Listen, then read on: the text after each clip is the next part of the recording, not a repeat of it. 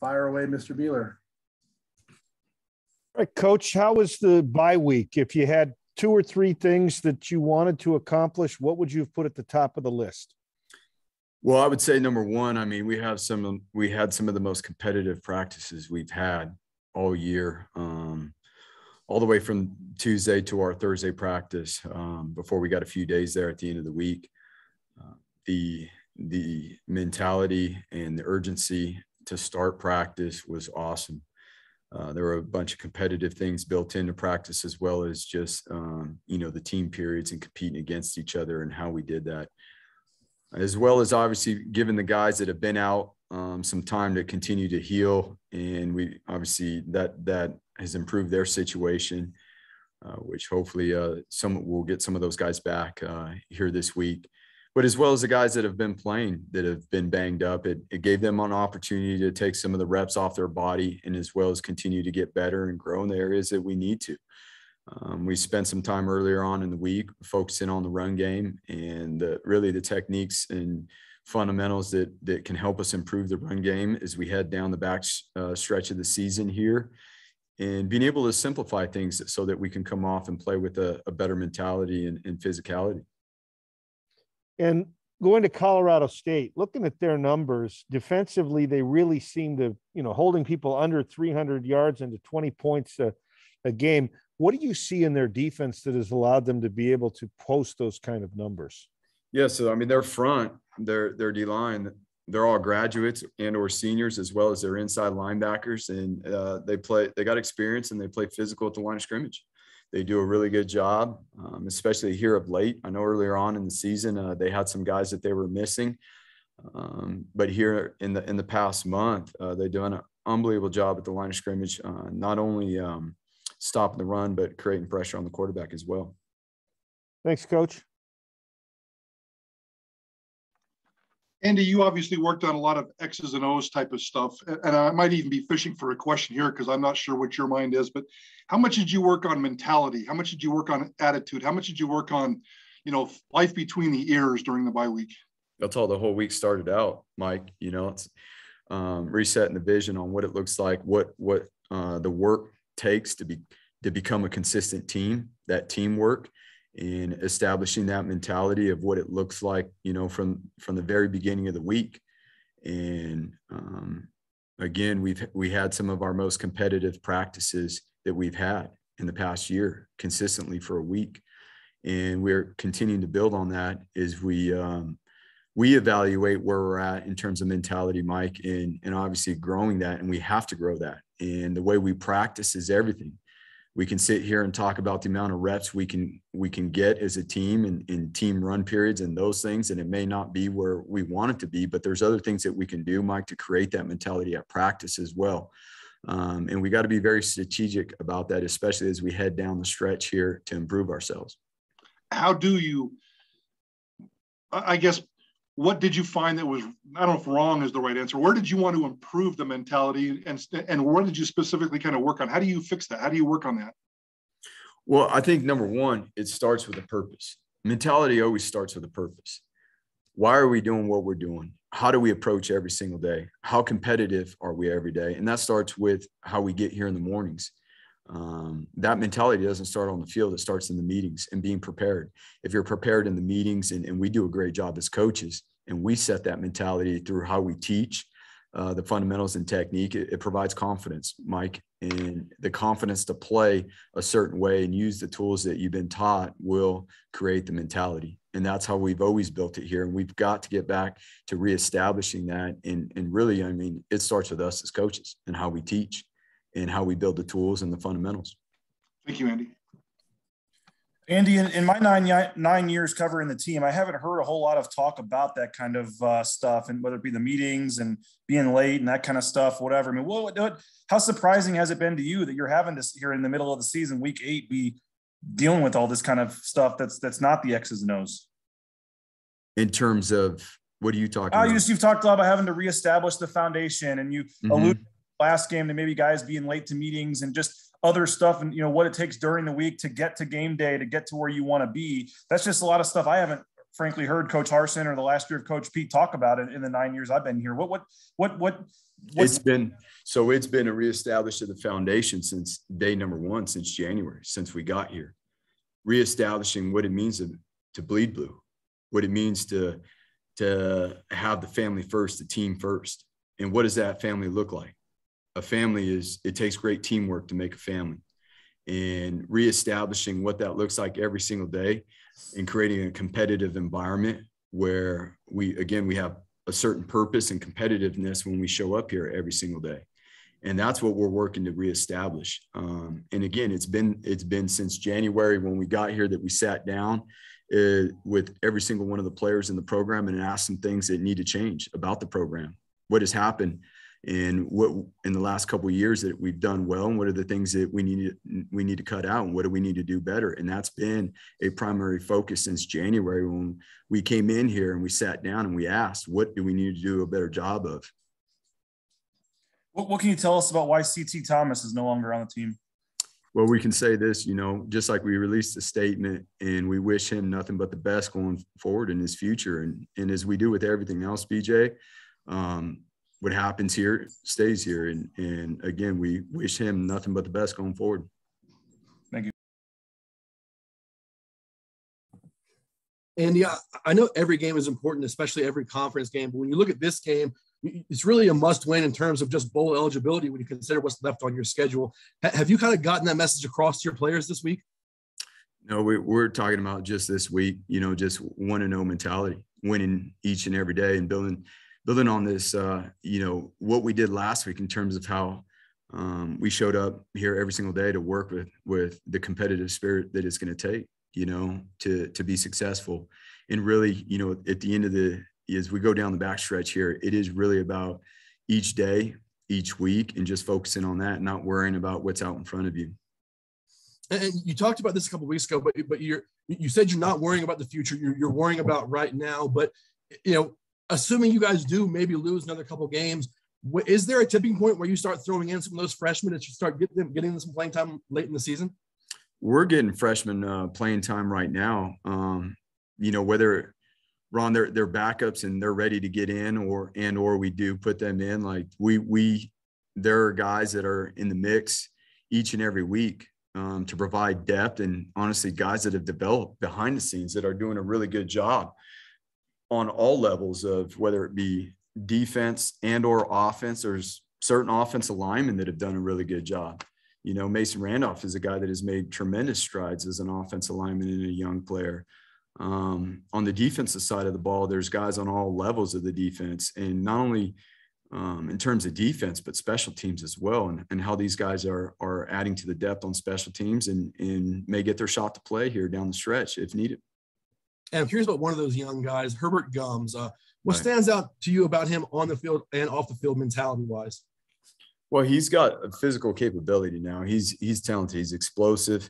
Um, you know, here in the last uh, three weeks, we've been able to increase his rep load coming off of the injury that he had last year, and so we've really been able to increased amount of reps that he's able to take in team periods uh, consistently. And it's part of his progression back into play and getting him back into games and being able to play him more reps. And uh, he is a talented young man that is explosive, but Ron, I mean, he he hasn't played a lot in the last year, so it's just it's going to take a little bit of experience and, and work to, uh, you know, and he'll keep growing. How about his mentality, maturity level off the field? You know what? He's a young man that's learning and growing he's uh, this second year in the program. So is for any young guy, um, you know, he's making strides and improvements and in, in, in terms of off the field and in the classroom and um, doing a good job of that stuff. And obviously the more you get your house in order off the field, um, the more you can focus and have more consistency on the field. Thank you. Jay, Paul Jay, and Will. And then just reminder, guys, we're doing two questions the first time through so we can get to everybody. Go ahead, Jay. Andy, how we doing? What's up, buddy? Um, Andy, we know that uh, more than anything during the bye, you also needed to try to, to rest up and get a little healthy. I know that some of the stuff you can only go so far into, but were you guys able to get healthy during the bye week? Are you expecting anybody back? And when you look at a guy like uh, Keikani Okola Holamalia Gonzalez, he, you know, we're, we're going into the seventh game, week eight. Right. We haven't seen him yet. Any update on him too? No, we're we're hoping here in the middle of the season uh, to see where he was at and further evaluate his situation. I think we should know here, you know, in the next couple weeks or so, within the next week, um, what that looks like. But we were to answer your initial question. Uh, there were a ton of guys. I mean, obviously the bye week was huge for guys that have been out, um, the extended rest, and the guys that have been playing and you know playing seven games already this season, and and for certain guys to get the work they needed, but also um, you know not nearly the same amount of reps you would have in you know a week when you're preparing for an opponent. So again it was extremely competitive last week but at the same time we were able to get some guys uh, fresh. Um, andy i know that you kind of have already addressed this a little bit today but as you talk about you know reestablishing the, the foundation and what it, um, it, means to be a boise state football player um, i know that you said that you've addressed it have, have you seen some of the results so far? And I know that um, it, it, might be a work in progress, but but have you seen those results? And are you in, encouraged by those results that you can get it fixed here and, and have a, a solid month of November? Very encouraged, you know, and, and by the players' response and the way they, re- they responded off the field last week to the way they competed, you know, off the field and on the field and the way they understand and the way they're bringing things forward too now that we can even continue to move forward in terms of um, you know increasing the, the competitiveness and of how we're preparing again both on and off the field. It is uh, last week was a big week. It was a huge week and um, the to be able to grow in all, in certain areas that we must grow to be more consistent with the things that we're talking about that are part of that foundation. We took a huge step last week and we started off uh, today was our first practice coming off a weekend where the guys had, you know, a few days off and they did a tremendous job out there today. Thanks, Andy. Coach, um, what does Colorado State bring defensively that has you concerned? Uh, their their experience up front. Again, I mean, there's their D line is full of uh, grads and, and seniors, and their inside linebackers. Uh, again, in the last month, uh, those guys they're back to you know, full strength with everyone being back in the lineup. And um, they've done a great job against the run game since those guys have been back. And, and not only that, but creating pressure on the quarterback. Uh, they they have a fair amount of uh, six man pressures that we're going to have to be able to handle. And um, not only the six man pressures, but even when they're rushing forward, being able to handle our one on ones and compete and be able to give the quarterbacks time to get through the progression. A lot of teams uh, script the first 15 or so plays of a ball game. Um, with your slow starts in the second half, any thoughts, or do you already script the first 15 plays or so offensively in the second half? Yes, there's a there's strategy that goes into those things, and there's there's two different plans that put into play that that are always prepared depending on how the first half goes. Um, and that's something we talked about obviously huge. I mean that's been a deal right? You know the consistency starting in in the second half um, and what does that look like? And to be honest we got we got guys that really care. And, and sometimes you know when when we don't get started off uh, quickly there in the second half you know we just got to understand that we don't need to press. We need to stay the course. We need to focus on executing the plan. And that starts with us obviously as coaches and committing ourselves to you know this this is a, a, game that as we've spoken about today involves a lot of mentality and establishing the run game and and being able to build from there and um, provide the confidence you know in the operation of the, of the quarterbacks to to be able to move the sticks thanks coach Hey, Andy, you look at Colorado State's offense. What stands out to you about their tight end, Trey McBride? Well, he does it all. I mean, there's there's not a lot of tight ends that are inline tight ends that can come off the ball and establish an edge and set an edge in the run game and then line up at X wide receiver and be able to run the routes he does. I mean, he is, uh, you know, he's considered one of the best tight ends in, in the nation for a reason. Um, and you put that along with his his length and his size and his his ability to run. I mean, there's it, it, he's he's you, you just don't see as many tight ends that can do it all like that this day and age, you see a guy who is more of an H split out tight end or an inline blocker. Um, he has, you know, he's got the full package of, of being able to establish again the edge and all the different things they do with him in the pass game as well. You look at their special teams numbers uh, with their punting and field goal kicking. How important is winning that battle on Saturday?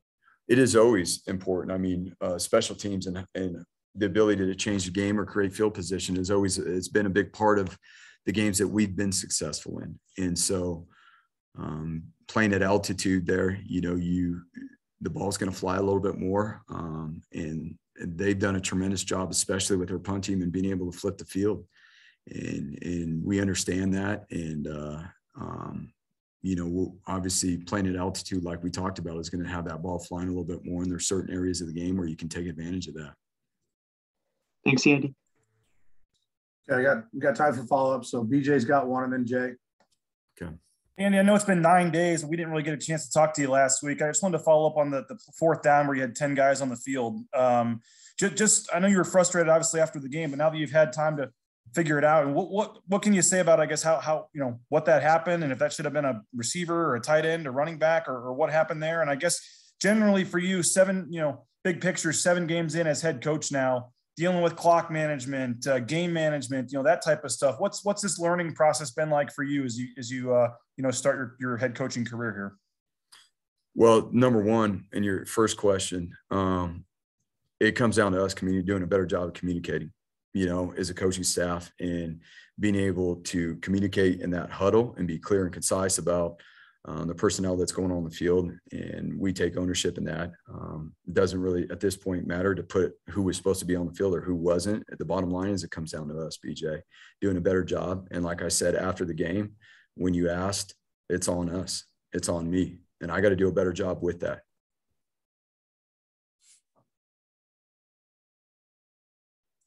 Um, am I, am I good to go, Craig? Yeah, go ahead, Jim. Um, Andy, um, through, through the bye week, obviously it's important because you guys can uh, get out and recruit and, and, do things like that. What what else did you do in your bye week, despite or um, other than you know have those few practices with your team last week? Did, did you get any family time and and how did how did the recruiting scene go? As as much as you can say, obviously. Yeah, no. Um, well, the recruiting was awesome. It was great to get out. There's a lot of young men that are excited to be a part of this program and have been around here enough on um, visits, unofficial or officially, to see you know what we are establishing and building behind the scenes and the direction we're going. And there's a lot of young men that are going to be very impactful in coming in here. And so it's good to get out. It was the first time being out recruiting on the road in two years, almost two years. So um, that was that was a treat in itself to be able to do that. You know, there was a lot of evaluations going on from you know, on all different levels throughout the course of last week, the beginning of the week, and applying that stuff through our practice week. And then, uh, you know, coming back off the road recruiting, most of us got back at some point, either, you know, early morning Saturday or, or Saturday during the day. And to be able to see our families for a few hours was huge. And then right back to it on Sunday morning early and, and you know, finishing the game plan and the prep for, for this week coming up, but also too, to be able to get out in front um, and and make sure that we have the things organized and plotted out uh, for the for uh, the rest of this week. Two years, that's crazy, Andy. Thank you. Mike Prater, go ahead. Andy, I know it's not a top priority for you right now, especially in the season, but I wanted to ask about name, image, and likeness and how Boise State as a football program deals with that. We're, we're doing a show this week on it's a first year thing and, and the right. university could get better student athletes could get better bronco nation and the biz community can get better. Where do you want to see it get better? Because at the end of the day i think it comes back to recruiting. I, I think it's it's a matter of opportunities mike as you know you're in that business you know um, and that's part of what you do. And it's just uh, there's opportunities everywhere and creating an infrastructure to take advantage of those opportunities and educating um, educating not only the players um, but making sure that we're all on the same page. A lot of the guys will get representation to help them with the name, image, and likeness. That's what's that's what's happened. I think within the community, people understanding in the community what they can do with the player's name, image, and likeness. Uh, there's a lot of people that don't understand that um, they can directly contact um, the student athletes to create an Im- image and likeness deals, and whether that's food sponsorships. Um, there's been talks of uh, car sponsorships um, supplement sponsorships. Obviously, it's all got to fall within the parameters of the NCAA. but there's different levels and different areas where guys have been able to um, establish some name, image, and likeness stuff. And I think that will continue to grow, uh, especially after this first year of, of working through the process and really understanding what do these opportunities look like. And as we grow our, our organization and helping the student athletes do so.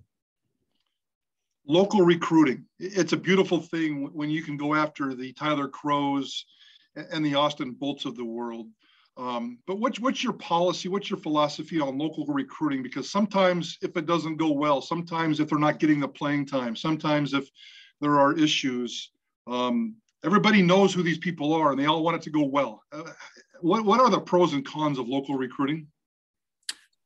The pros for us have always been establishing um, the mentality within the program with the local guys that have grown up around here and that have bled blue since they were kids and, you know, you're talking about Tyler Gurn, you're talking about guys like that that have earned scholarships.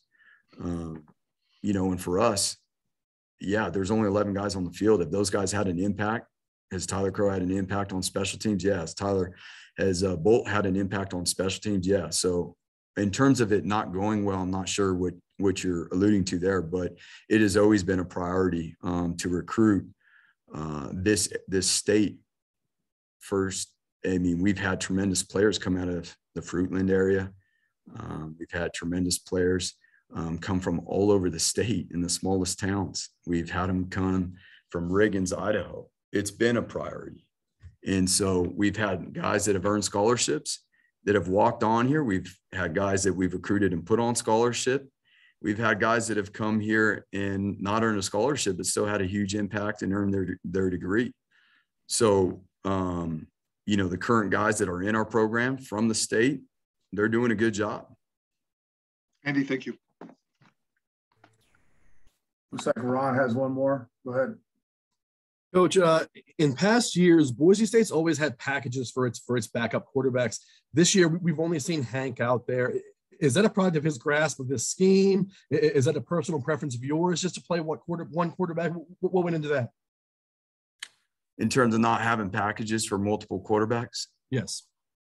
Now there's always uh I think there's a, a consistency that especially when when we're building a, a run game that there's like we spoke about there's a certain level of uh, simplicity that we got to be able to keep so we can come off and uh, and play fast and physical um, where we go from that in terms of building multiple packages for quarterbacks to step in and play um, you can see that as a couple different ways. We've had some wildcat situations to get Khalil Shakir back there and be able to handle the ball and do those things. So there's, um, I think that's partly so of what you're talking about too, is getting the ball in someone else's hands that can create an extra number in the run game. Is that what you're referring to?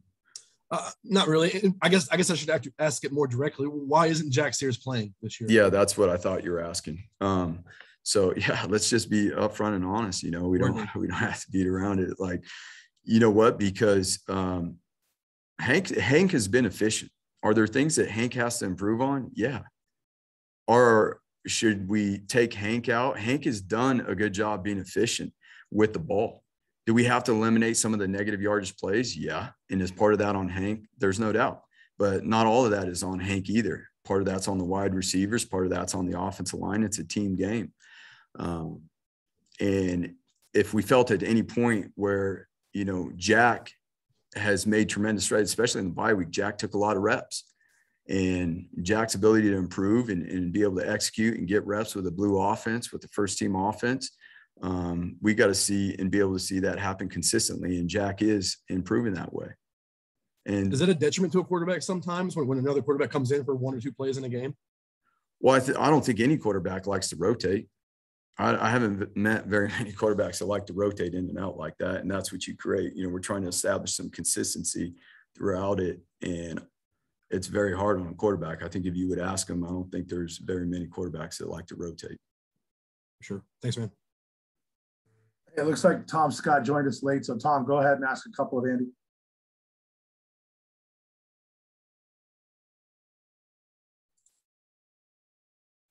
Tom, can you hear us? Yeah, I'll try to come back at this time. BJ, you said you had one more, so. I yeah, Andy, I just wondered if you could answer the second part of my question, just about being seven games in as a head coach and just mm-hmm. the that the learning curve for you too, in, in terms of uh, self evaluation and dealing with game management, clock management, all kinds of stuff that you maybe hadn't had to do before this year? Yeah, there's no question. Every day is a learning experience, BJ. Uh, every day is a learning experience that we enjoy. Like that's the beautiful part about this game is being able, as much as it is for the players to go out on the field. There's there's situations where we go on the field and it's play it periods, and we learn as well as coaches every single day on the field. Um, and the evaluation always starts with myself and the coaches, and where we go from there, and the consistency within that. And so there's plenty of areas that we got to continue to improve. The mentality of this team starts um, and ends with me. The the game operations and the communication in the game starts with me, and that's why I take responsibility to your question. And those areas of learning, there are certain things that we control, and those little things we've got to make sure that we do an unbelievable job organizing and practicing and preparing the things that we can control. Communication off the sideline, being able to make sure that in those critical situations, we have full control of what we can control. Game management situations, there is debate on what we could have done, would have done, hindsights, all that stuff. Are there things that we have learned through the course of the year? Yeah, there's things that we've learned. Um, are there things that we would do different? Yeah. Are there things that have been questioned that we wouldn't do different? Most definitely. And so um, keeping perspective is everything. Um, but having the willingness to learn every single day is a huge part of it. Thank you. Tom, looks like you might be there now. Am I unmuted? Yep, you're good. Okay. Uh, Andy, uh, I noticed that uh, Davis Koetter is listed as the backup on the depth chart at the agency spots.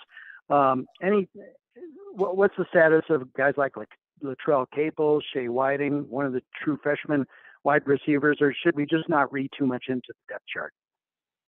No, those guys, um, no, Shea Whiting and those guys, uh, they have done a tremendous job. Um, a few of those guys obviously have been banged up. Um, Latrell um, being one of those guys, so uh, he's coming along. We're really excited about the progress of Latrell has made. But there's there's we have seven guys that we feel confident about easily. Um, that's one of our deepest positions on the roster. Um, and Davis can play either or uh, position, and that's what he brings to the table is having the knowledge to play inside or outside. Um, and as we move through this week too, that will be solidified uh, more so in terms of the competitions to see who uh, deserves the right to you know to be the next man in the game because we have plenty of guys that are capable.